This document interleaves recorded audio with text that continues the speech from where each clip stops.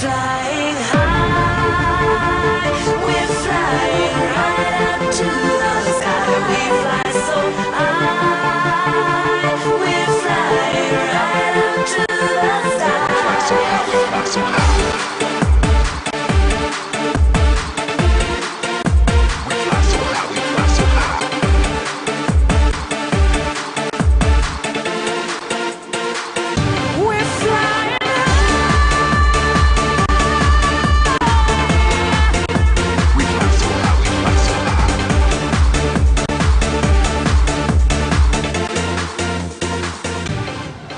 Tavaly is mi rendeztük ezt a versenyt, és minden évben más helyszínen szokott lenni. Balog, dr. Balog László tanszékvezető tanár úr kérte, hogy újra mi rendezzük ezt a versenyt, illetve a Testnevelési Sportudományi Intézet által az STE csapatbajnokságban annyit kell tudni, hogy négy női és illetve négy férfi csapat van. Hát sajnos kevesebb, mint régebben volt. Valamikor még ugye tele volt a hatszer a férfiaknál csapattal, most ma már csak ez a négy csapat maradt. Lányoknál is több csapat volt. Színvonalra annyit, hogy a szegedieken kívül a többi csapat körülbelül egy színvonalon áll, illetve vannak olyan tornászok, akik válogatott tornászok, illetve és kötelező nekik indulni ezen a versenyen, hogy az univerziálén tudjanak indulni. Tornászokat azonban sajnos nem egyszerű találni, sem Szegeden, sem az országban. A szegedi helyzet körülbelül olyan, mint az országos helyzet. Itt tegnap beszéltem a Bergi Krisztián edzőjével telefonon, és örült neki, hogy egy jó fölvezetést csináltunk ennek a versenynek, tehát a tornának egy jó hírverés. A szegedi viszonylat az csak általános, illetve főiskolás szinten most már merem mondani, van torna, tehát nincs szakosztály, nincs egyesületi háttér mögöttünk.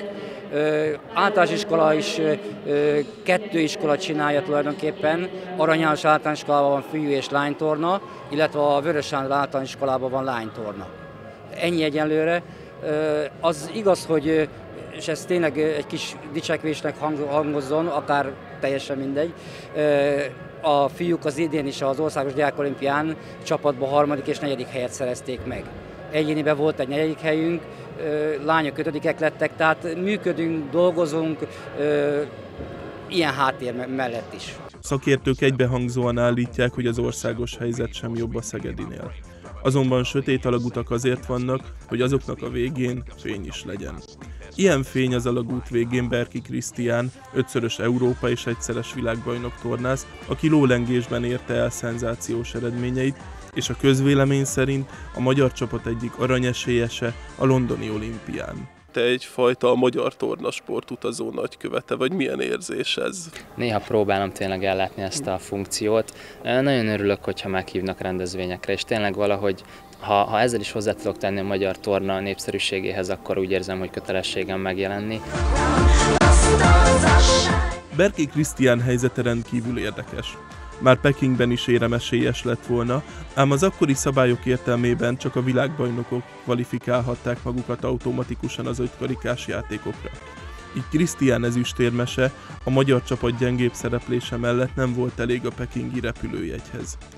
Külön vérlázító volt, hogy a Nemzetközi Szövetség a szabadkártyát nem neki, vagy két hasonló cipőben járó VB ezüstérmesnek adta, hanem egy, a 2007-es Stuttgarti VB-n 176. jemeni versenyzőnek. Krisztián és a magyar közvélemény szerint az eltérő kvalifikáció miatt azonban ez London kapcsán nem fordulhat elő.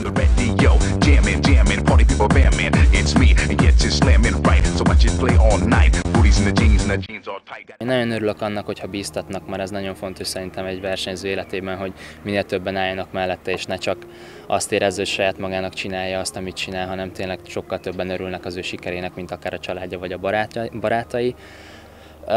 Nem szoktam ezzel foglalkozni, hogy, hogy mennyire nyomasztana, vagy nyomasztania kellene ennek a tehernek. Én gyerekkorom óta ezt csinálom, ez az életem, tényleg szeretnék olimpiai bajnok lenni, de előbb a kvalifikációt csináljam meg, és legyen a zsebemben az a bizonyos kvóta, amivel ott lehetek Londonban, és ott meg már bármi megtörténhet. Szerintem tornában és nagyon sok sportágban nincs ilyen, hogy papírforma. Tudom, hogy az esélyesek közé sorolnak, de de nem hiszem, hogy pillanatnyilag ezzel kell foglalkoznom. Megvan a saját dolgom, arra kell koncentrálnom, és hogyha az olimpián kint vagyunk, akkor, akkor tényleg a bírók eldöntik, hogy ki aznap a legjobb. A bajnokság indulói között Krisztián nem csak csapattársaival, hanem hobbi szinten versenyző amatőr versenyzőkkel is találkozhatott. Szerintem nem ez a fontos, hogy ki mit tud, hanem hogy, hogy az emberek veszik a bátorságot és fel tudnak készülni egy versenyre. Ez önmagában már egy olyan dolog, hogy lehet, hogy nem lesznek olimpiai bajnokok, főleg a főiskolán tornázó versenyzőkről van szó, de, de én tisztelem és becsülöm őket, hogy tényleg felkészülnek és örömüket lelik ebben az egészben, ami talán a mai világban a legfontosabb, hogy az ember olyan dologgal tudjon foglalkozni, amit szeret és, és, és, és élvezettel tudja végezni. És azért nagyon jó, hogy itt most ennyien vannak ismét. Valóban szép számmal összegyűltek versenyzők, még ha kevesebb csapattal is, Magyarország különböző egyetemeiről.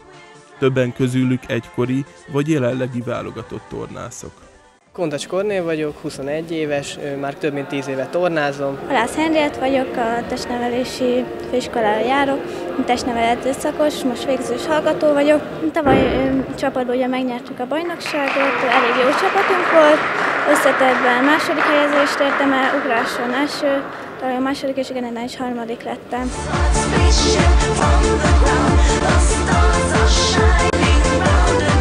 18 éves koromig első osztályba űztem a sportot, majd utána jelentkeztem főiskolára, így nem tudtam ugye minden nap edzésekre járni, és egy kicsit gyengébb színvonal ö, képviselünk, és ezért a második korosztályba szoktunk indulni, illetve a főiskolás bajnokságokon. Ö, 18 éves korában az ember tornászként már idősnek számít, szóval pont ez volt az idő az, hogy kicsit lejjebb kellett adni.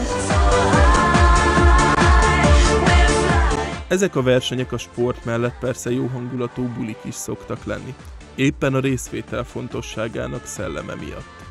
Már voltam Mefobon, így már ismerjük őket a verseny utáni buliból, ami volt ugyebár régen, és eléggé barátias a hangulat. A verseny végén, noha együtt indultak az amatőrök a fél vagy teljesen profikkal, inkább az utóbbiak örülhettek. A lányoknál az összetett győztese az egykori válogatott Korcsmáros Enikő lett, míg mögötte a szintén szegedi színekben versenyző Halász Henriett végzett. Az egyéni számokban ők ketten is éremhalmozónak tekinthetők.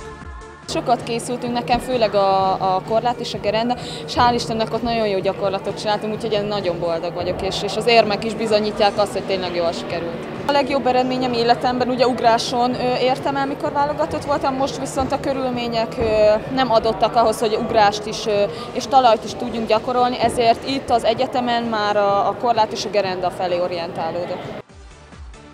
A fiúknál a győzelmet Vlacsil Attila szerezte meg, aki jelenleg is a magyar válogatottal készül az eredetileg Tokióban megrendezendő, de a természeti katasztrófa miatt egyelőre ismeretlen helyszínre áttett olimpiai kvalifikációs VB-re. A második Vecsernyés Dávid, a harmadik Szabó Nándor lett. Kíváncsian kérdeztük meg, miként lát egy ilyen versenyt belülről egy nemzetközi szintű versenyző. Nyilván nekik nincsenek meg azok a körülmények, amihol készülni tudnának versenyekre, de meglepődtem, és minden elismerésem azok iránt, akik ilyen körülmények között is fel tudnak készülni, és tudnak versenyezni, és, eredményeket érnek el. A kínai univerziádé mellett azonban Attilának természetesen a VB lebeg már a szeme előtt. 16-oknak kéne, hogy legyünk. Megpróbáljuk összeszedni magunkat, és mindenki mindent belead, és majd meglátjuk. Belki Krisztián is ö, részt kell, hogy vegyen ezen a versenyen, neki ö, lovon kell sikeresen teljesíteni, nekünk pedig a csapatnak, és ez igen majd kvalifikál minket az olimpiára, hogyha sikerül bekerülünk, de majd jövő januárban is lesz egy tesztverseny az olimpiára, és ott is ö, ö, sikeresen kéne, hogy elinduljunk. A MEFOB-nak talán nem túlzás kijelenteni valóban szakmai műhelyszerű feladata volt. A tornászok egy jó találkozási helye, legyen szó amatőrökről vagy profikról, másrészt a kilátogató nézők magas számából következően nem lehet másodlagos cél a sportág népszerűsítése sem, amihez sokat tehetnek hozzá az olyan példaképek, mint Berki Krisztián. Még ha ő nem is tulajdonít saját szerepének nagy jelentőséget. Én még annyira nem szerepelek ebbe a dologba, hogy, hogy, hogy miattam javult volna. Azt tudom, hogy tényleg akár a klubomba, akár más klubokba lehet, hogy vannak olyan gyerekek, akik mi, engem láttak a tévében, és miattam mennek le egy-egy adott terembe, és elkezdik a tornát. Az tény, hogy, hogy utánpótlás révén nagyon, nagyon rossz helyzetben vagyunk, és tényleg nagyon sok gyerekre lenne szükség ahhoz, hogy azt mondjam, hogy normális bázissal tudnak dolgozni azok az edzők, akik a felkészítő munkát elvégzik, de, de bízom abban, hogy a szülők is valamilyen szinten veszik a fáradtságot, és elviszik sporton a gyerekeiket, mert a mozgás az kell mindenkinek, a mozgás az, az élet lételeme.